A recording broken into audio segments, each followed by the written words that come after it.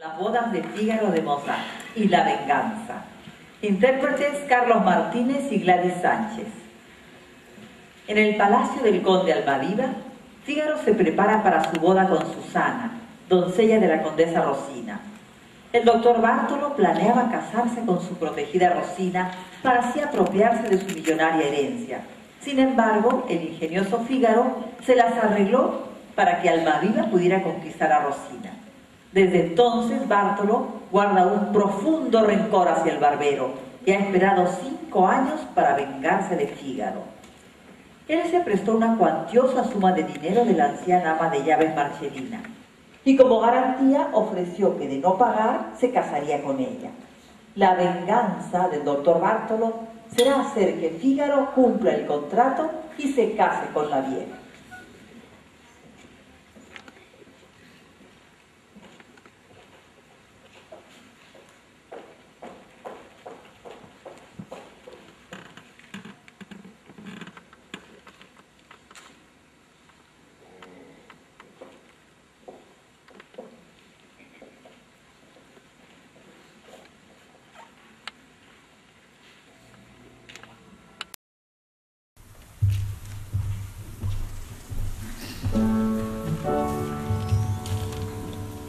la bella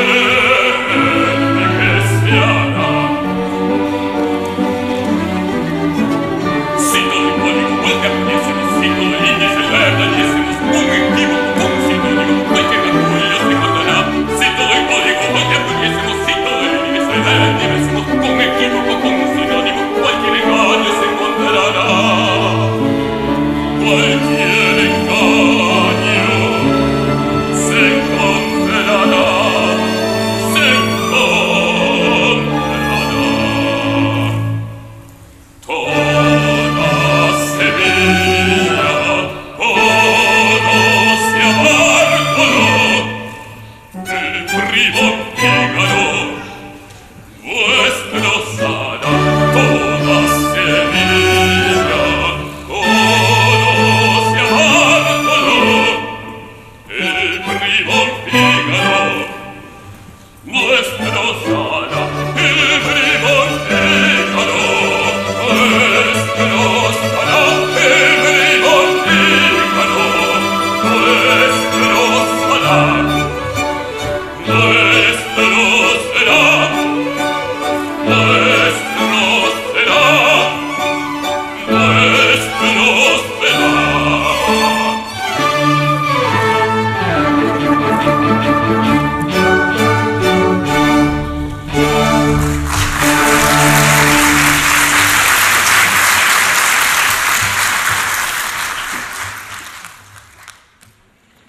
Seguidamente, de la ópera Rigoletto, apreciaremos La Donna Immobile, interpretada por Álvaro López. El duque de Mantua sedujo a Gilda, la hija de su bufón Rigoletto. Desesperado, Rigoletto ha encargados para Fuchile asesinar al duque y ha huido con su hija. El duque no ha vuelto a saber nada de Gilda, aunque ambos se juraron amor.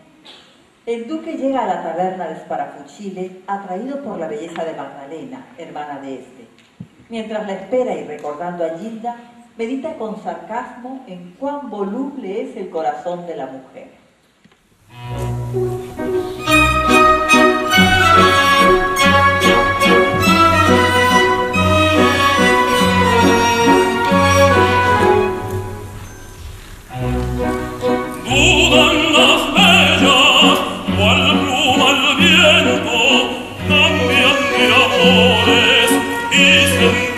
vientos siempre